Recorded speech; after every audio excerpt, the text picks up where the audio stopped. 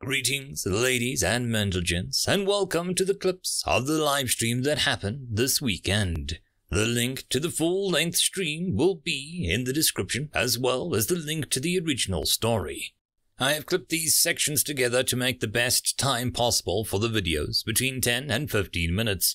So, if there is more than one story in this video, they may not have sequentially happened in the stream. But, anyways, hope to see you guys in the next stream. If not, don't worry, there'll be more clips next week. There are also ways to support the channel down below if you so choose to do so. And if you could do all the YouTube gum for this video to help it in the algorithm, it would be very much appreciated. Anyways, on to the live sci-fi. Please note that the only editing I've done to these clips has been to clip them and boost the audio for better listening. And as always, I hope that you enjoy. Alrighty. The Price of Peace. Written by Ekna writes, Echidna writes. Emperor Galvar walked through the dimly lit hallway towards the secluded room that the two aliens were escorting him to. Looking around, he couldn't hide his distaste, his mandibles flaring and trembling uncontrollably. The metallic clang of his talons made with each step he took only added to the knowledge that he was inside the construct of an alien mind. The trio arrived at their destination in mere moments, and the metallic, colorless doors opened to reveal a table, two chairs, one for him and the other for the manufacturer to support the strange anatomy of his peoples he shook his head, refusing to acknowledge them as such, even if the reality of the sole reason was that he was to achieve the same goal. Tiredly, he made his way to the chair and sat on it. Idly, he watched with his four eyes that on the table laid a piece of parchment. His mandibles flexed and felt as if one of his heart skipped a beat as he remembered what that piece of paper contained. The Emperor didn't wait for long for the doors to open again. Looking at the female, the woman, if he recalled correctly, he couldn't help but examine her for a moment. Unlike the vast majority of other humans he had seen and dealt with, she wasn't wearing any form of power armor, conventional armor, exoskeleton, or even carried a weapon on her. The uniform she wore spoke of not a military might, but one more dedicated to the pursuit of knowledge of laws. Emperor Galvar, the woman spoke with the gentle, barking noises. The translator, all but plucking the sounds from her mouth, made and transforming them into his language. You must be Ambassador Talina, Galvar said, bowing his head to the customary sign of greeting for his people. Talina returned the gesture and approached the table with a slow, cautious pace. I am. I hope your transport was accommodating. Good evening, Tony. Hope you're doing well. Galvar tried but failed to look away as he replied. It was. Your aesthetic decor, however, leaves much to be desired. This is a military vessel, Emperor Galvar. In other circumstances, we would be having this meeting on a diplomatic ship. Alas, this is not the case. Reaching the table, she sat on her chair and leaned forth, resting her elbows against its hard, cold surface. Do you wish for some refreshments? I'd rather do what I've come to do and leave, if you don't mind, Ambassador. Galvar replied, his mandibles flaring, and he stuck his wings threateningly to unfold themselves. Are you quite sure about that, Emperor? she asked in a serious, deep tone. Do you know what will happen once you sign that treaty? He felt his stomach churn and twist inside his thorax. Nearly chittering, he replied, I wouldn't be here otherwise. I've read what that document contains enough time to have it memorized. Yes, human, I know what will happen. Talina sighed. Let me rephrase my question, then, Emperor. Do you understand what will happen? Galvar closed his eyes and his body trembled. I've read and seen your history. What you did, what you've done, what your species has achieved. He opened his eyes. I know what you did to the Boucher. The Boucher. Delina whispered the name barely contained contempt. May I tell you a little story, Emperor? Why? It won't change my decision to sign the treaty, he replied. Because I'm afraid you need to know a bit more about humanity than what the info package could ever tell you, she insisted. What more is there to learn? You slaughtered the Boucher, did you not? Garvar said, feeling his exoskeleton shudder for not the first time in his life. Indeed, we did, she admitted. Several seconds passed until the Emperor gave her a soft nod. When we, humanity, that is, reached the stars, finally breaking away from the confines of our solar system, we did so expecting to receive, be received as monsters, primitive, barbarians, or a little more than another competitor on the galactic stage. She paused for a moment, musing, her words carefully. You see, when we developed the hyperspace, we did so not as a unified species. Science fiction, epic stories, all kinds of possible scenarios had been conjured by our writers, artists, and more about what meeting alien life would be like. Frankly, it was impossible to prepare for every single option presented to us. What do you mean? Garvar asked, having never heard of such information before. The package your admiral delivered never touched on that. Only some of your history, your conflicts, and some of your highest and lowest achievements. We would have followed the usual path of approach, but our current situation could hardly be called the usual, don't you think, Emperor? Delina chuckled, and Garvar simply remained silent. Rushed improvisation aside, there were several frightening scenarios placed before us. Could we be the first intelligent species in the cosmos? Could we be the only one? What if the universe ended after cracking FTL travel? Would we meet ravenous, mindless hive minds? Would we stumble across galactic union of sorts? Would there be war with our first contact? She chuckled, just to name a few. Garvar was stunned and baffled. What species could ever dream up so many outcomes upon reaching the stars beyond? Apparently, humans could and did. However, the most popular belief was that if we were to meet intelligent alien life as advanced or more advanced than us, then surely concepts like gods, religion, faith, and make believe would have been expunged from their society, throwing it aside discarding it as useless in favor of embracing logic, science, and development. What? Garvar chittered, unable to believe what he just heard. Delina smiled somberly. We thought, we really, really thought that we would be seen as primitives or treated as the laughing stock of the galaxy.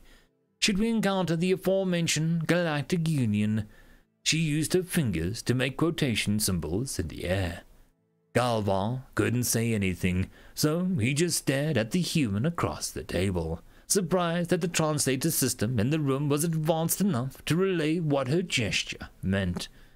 Imagine our surprise when, first, we discovered the stellar Forum of civilizations, and second, when we discovered that religion wasn't something to be laughed at, but the norm and the staple of every sapient species. Why would your people ever think that? he asked, confused. It was a good thing that he was already sitting, for the revelation would surely made his legs tremble at the sheer absurdity of the notion. Many reasons, but once we began to speak with each few species that actually bothered to respond to us, we realized a few things. We thought the galactic community would be thriving, not be just a sorry excuse to keep a record of those civilizations that achieved FTL and made contact with the Forum. There was no Senate, no primordials, no precursors, not even a centralized empire, she said, shaking her head in disappointment knowing that most civilizations kept themselves except for those that were relatively close to one another was a rather hard pill to swallow. Of course, not all civilizations make contact with the Forum, and, equally true, the thought that every single civilization practiced religion in one shape or form was something that we were not expecting. Then, five years later, as we began to expand, and our territory now could be counted at to possess 70 systems, the Bourget made contact with us. Galvan felt his entire body stiffen at the tone the ambassador used. For someone who was not part of the military, who could feel her aggression through her voice. No, not aggression. It was something uh, more, something deeper. Anger, disgust, hate. I read what you did to your people, Ambassador, he said softly. No words I can utter can say or understand your feeling. Talina took a deep, calming breath. We lost five billion people, Emperor. Five billion. Eighty percent. Eight percent of our entire population in under three Terran months. And why? The Bushian religion was based on a purity and war. They saw us as impure and thus decided to attack us without warning, without provocation. By the time our fleets could mobilize, they destroyed the stations, mining outposts, every vessel that couldn't flee, and the colonies on the third of our territory.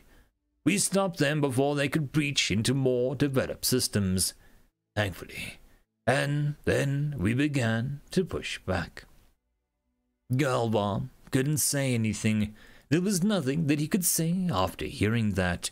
The teachings of his once unshakable faith told him nothing, but the pain that he could see reflected on the odd expression face of the human told him enough. There was still something he couldn't understand. How could you unify against the Bourget? Your pre-FTL history is litany of carnage, death, suffering, betrayal, and bloodshed. Millions, billions die on your planet due to internal wars and conflicts between different nations. How could you, as a species, manage to survive so long and thrive? Because the only thing that humanity knows how to do better than tear itself apart is band together for a singular purpose. And the Bourget gave us that purpose. She sighed. As we studied them and interrogated the prisoners, we found out why they saw us as impure. The reason? Our religions. She stopped for a moment, standing up and giving the Emperor her back. Every species out there has either one religion or a dominant one with two or three minor ones that aren't all too different from the main one.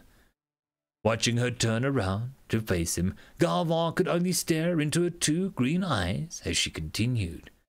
We humans have dozens of them. Some major ones, some minor, always shifting, always changing. Some even adopted alien religions, she chuckled.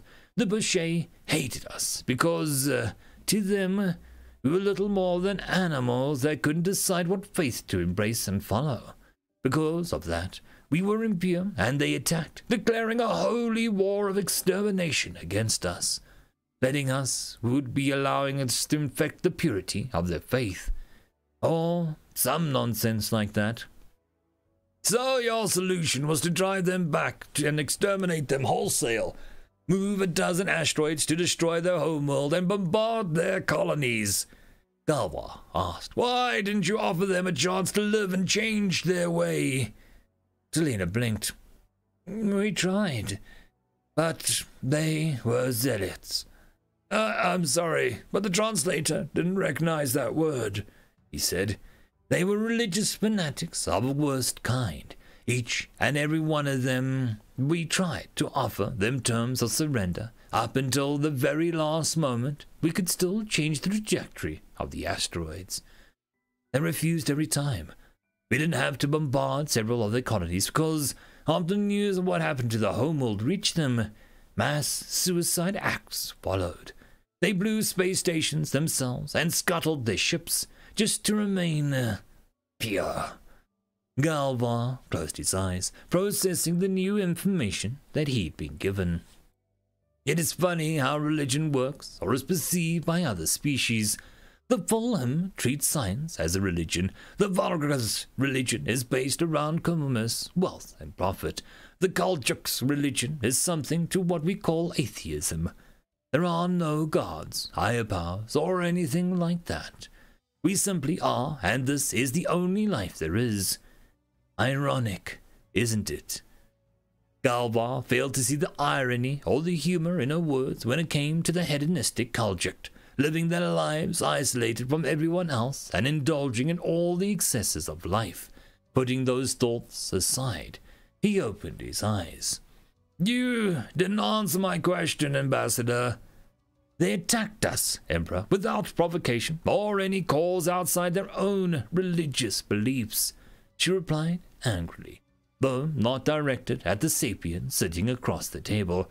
An eye for an eye only makes the whole world blind, is a popular saying amongst many of my people's religions. It is also a stupid belief, in my opinion. But you're an ambassador, he protested. How can you, a woman of law, peace, and order, say such things? It is precisely because I am an ambassador that I can say that, Emperor. They killed five billion of our people, so in turn we should have killed five billion of theirs to call it even. No, we were not going to do something so stupid as to give them a chance to muster their forces and strike us again. We gave them the chance to surrender. They didn't take it, so we killed them all. Humanity has not known the threat of the Boucher ever since. Every child, man, woman, son, daughter, father, mother, and family they butchered without mercy was thoroughly avenged. And your wanton genocide was what sparked the Na'awi to declare war on you. Yes, quite so. But unlike the Boucher, the Na'awi were reasonable and accepted surrender when it was clear that they couldn't win. Now they are our allies. After that, some species came to us asking for aid, not just military, mind you, whilst others tried to prove their mettle against us.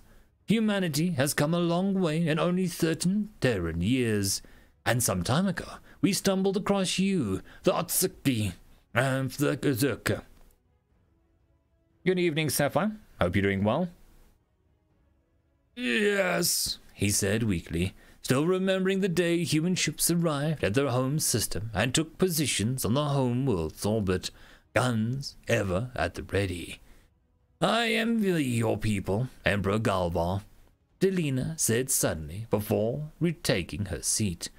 He watched her face internally, trying to find any indication of treachery or deception, but found nothing but sincerity. Why would you envy us, Ambassador? Are you perhaps trying to mock me, my faith, my people?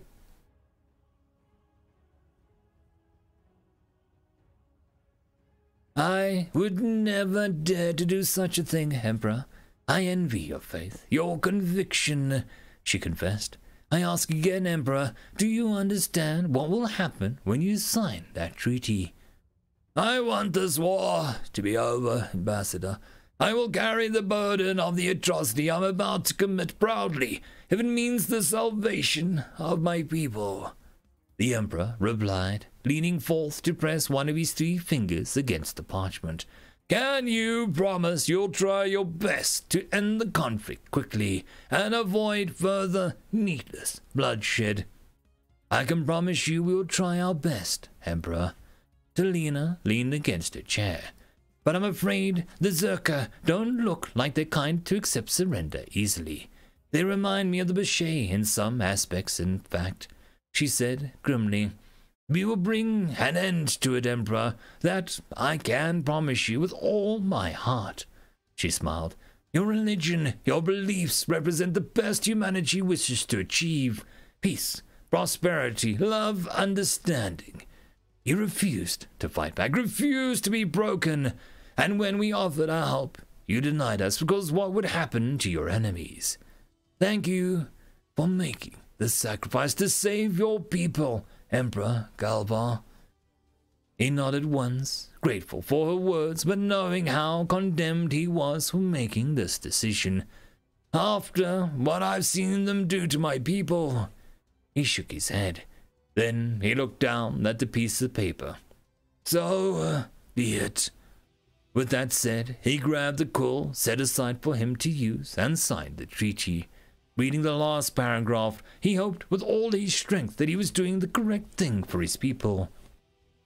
The signatories of this treaty validate the entry of the nation known as Enkindlers of Light into the Sacrosanctarum Union with full protectorate.